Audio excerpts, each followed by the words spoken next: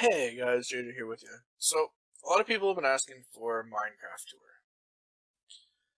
That have been watching Wheels 24 7 know that we all play Minecraft together. So, I'm going to do my base tour. I'm the most advanced on the server. I think Wheels is still living in a hole in the ground. Uh, Buck hasn't really been around, Grandpa hasn't been around, so it's been pretty much Norm and I. So, this is Spawn. Spawn's literally just over there a little bit. So, here's where I started building. Doesn't look like much, right? Just wait. So I have immersive engineering windmills. I have two on the go. It's currently powering absolutely nothing. They look good. I need to clean it up a little bit more. I want to make it a little bit better. But I have two windmills. Sugarcane farm. I mean, who doesn't always need paper? I have two Steve's carts factories, or two Steve's carts tree farms on the go. I have two uh, forestry farms on the go. So this one here is doing carrots. That one's doing wheat. And then tree farms. And you guys will see what all this is for here in a second. Walk back down my path. So everything on this tree farms runs back to this point. Runs back into the crate. I know it says glass on the top of my screen, but it's a crate because I have this all glassed in, so mobs will stop my stop messing with my cart. But for some reason, it's not even going underneath properly. But hey, it uh, goes to the crate. The crate goes into the hopper. The hopper goes into the item unloader, or the item loader. Loads up the mine cart, which for some reason is not doing its job right. But I'll figure that out in a bit. And then this mine cart runs this tunnel it actually triggers two detector rails that'll open and close. Open and closes the garage door from either side, so it's pretty cool.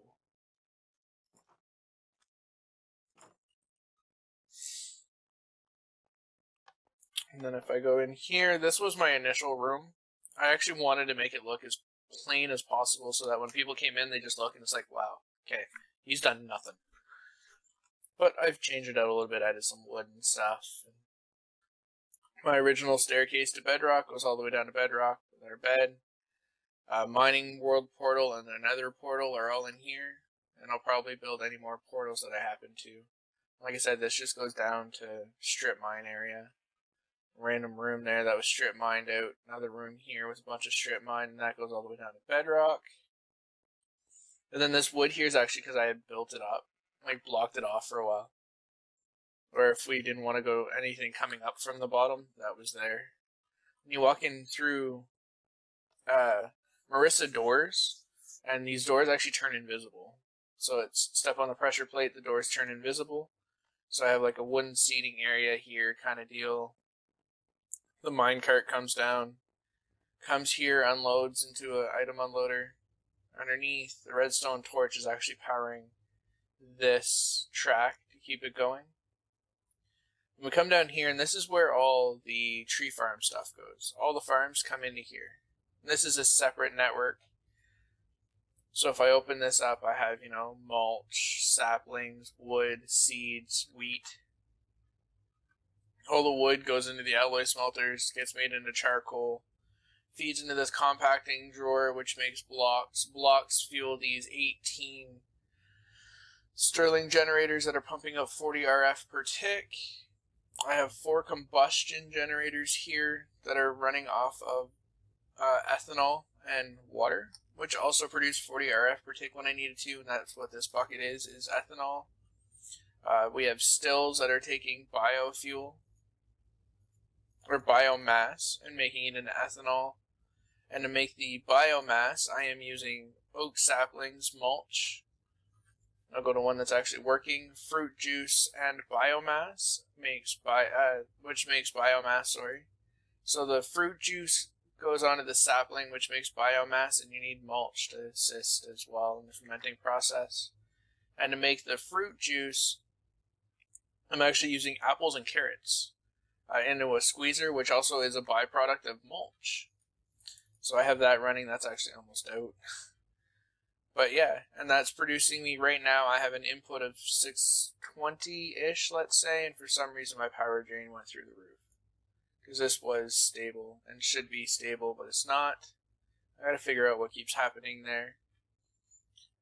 But that's this room. This holds a total of 3 million RF, and I have one that holds 16 million. So I have a total of 19 million RF storage. This is the main room. So you come down this staircase, which is nether brick stairs with basalt bricks. And you'll notice that there's no torches because I'm actually using painted glowstone. So if you come over here, this is all my A, uh, ME stuff, or uh, Applied Energistics. So here's my main crafting panel, and you'll see all my resources that I have. I have lots of everything.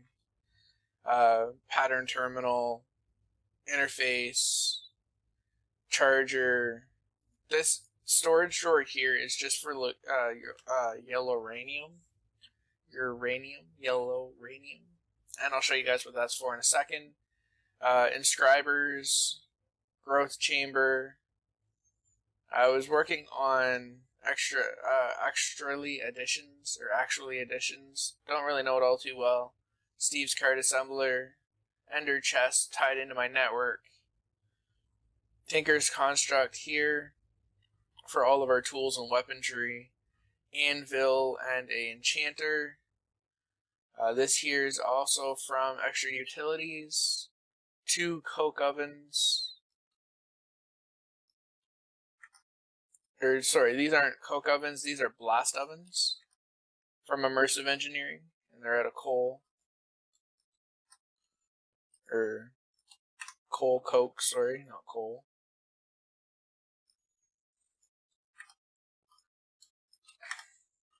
Get those going back up right quick. Sounds like there's a zombie around here somewhere. Ender Pearl Farm. Uh, this is all done from seeds from destroying grass. More compacting drawers. Here's all my alloy smelters and sag mills. These are all actually automated onto my AE network or my ME network, whatever you want to call it. Uh, down here, I have two two lanes like this planned out and obviously, guys, you won't see the cobble when it's done. It'll just be the basalt with machinery. But uh, on here, I'm probably going to do a full run of Ender IO that's not tied into anything, just power. So it's a manual operation on this side. I'll probably do IC2, uh, thermodynamics, and then forestry, all in this lane, all in these lanes. And then if you come down this set of stairs, here's my 16 million RF bank, and for some reason I'm running through. No, okay, I'm making a gain now. Uh, and then you come down these stairs, and I have Botania. Just gonna get some more mana going by dropping off some coal in my Endoflames. Storage chest here for Botania. More Botania. Uh, different color sheep so that I can get different color wool for my AE network. Uh, this had them originally too. I'm kind of still working on what I want to do in here to automate this. Just white sheet. Uh, all my crafting. So this is all my automated crafting from AE or ME, whatever title you want to call it. There's 16 channels in here, so 16 interfaces all surrounded by molecular assemblers. A giant controller with my crafting grids in it, but they're going to be moving to their own network area uh, once I get their random panel just for this floor. All my ME drives, the top three over here, are for 64K drives. Uh, and this one here is a mixture of four 1Ks and a bunch of 4s, and this one is empty, and this one here has 4Ks. And I'm planning on running dense cable over here, so right now it's an 8 channel max that I have over here which is seven channels right here in drives and then one that'll tie into the next thing that I'm going to show you. So that's this floor and all the main floor staircases, guys. So right now, all everything that's right here above this is actually in a chunk. So everything here is in one chunk, the way that I have it built. So if I come back up here, you'll see all this is one solid chunk. While I'm on this floor, I'll show you a hidden area. Well, it's not really hidden due to the staircase, but up here it's just giant empty room. There's the back half of that 16 million capacitor bank. You'll see here, this will show at 75%, it'll emit a redstone signal. Uh, I'm currently having a output of 1000 RF and an input of zero for some reason. But this big reactor barely ever runs, and I mean barely ever runs. It doesn't need to kick in, but it's set to kick on if that cap bank drops below 75%. So, that's my emergency power situation. If my tree farm ever happens to stall out. So here's where all my power goes to. I have a mining rig. Uh, this is from Environmental Tech. I've never used it before until now. I still have to get other stuff done so that I can get those gray blocks inside are actually meant for upgrades. And this actually has to see bedrock. So you look straight down here, right down to bedrock, and every floor down looks like this. Uh, and it's mapped out into an 11 by 11, which is the tier 4 of this. This is a tier 2. So, and then we have hatchways on either side and either side here of the chunks. And if I keep going down, this floor here is going to be my blood magic room.